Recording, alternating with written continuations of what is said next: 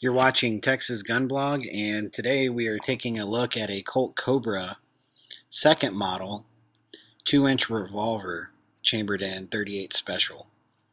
As you can see, this particular revolver has the original box and original paperwork to include an owner's manual and a safety pamphlet from Colt.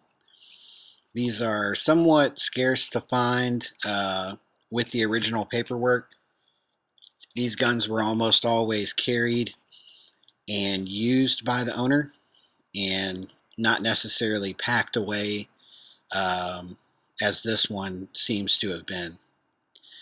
One thing you'll notice about this revolver is its excellent finish. Uh, there are a couple spots on either side of some slight wear. Uh, you'll notice by the, the bottom screw on the frame underneath the cylinder, there's a couple spots on this side and on the other side there's a small scratch uh, towards the front of the frame under the cylinder and a couple light um, handling marks below the pony at the rear of the frame above the top of the grip.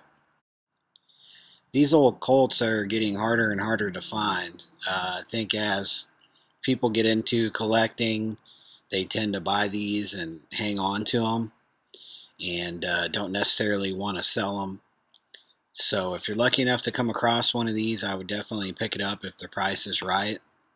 Um, we have uh, a few of these that have come in and gone out on auction over the last few years. And uh, to be honest, I've wanted to keep every one of them. They're a beautiful gun and they're very, very fun to shoot. The Cobra was made in two models over the years. It was produced from 1950 to 1981. And originally was made out of aluminum and marketed as a lightweight carry revolver. And that particular lightweight model, the first model, was made from 1950 to 1971. The easiest way to tell the difference between the two is the shrouded ejector rod underneath the barrel. The uh, first model is not going to have that shroud. So if you see that shrouded uh, ejector rod, you know you've got a second model. Not to mention uh, the steel frame, so it's going to be a little heavier in the hand. These particular models were produced from 1972 to 1981.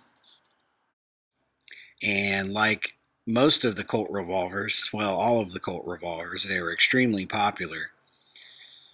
You won't necessarily find a lot of these sitting on the shelves at gun stores because they do have a tendency to sell, uh, but they are readily available if you have the ability to search the internet. Um, there's usually a couple on auction here and there. If you're interested in purchasing this particular revolver, you can contact us by visiting us at texasgunblog.com and using the contact form at the bottom of the front page. Thanks for watching our videos and remember to subscribe. Thank you.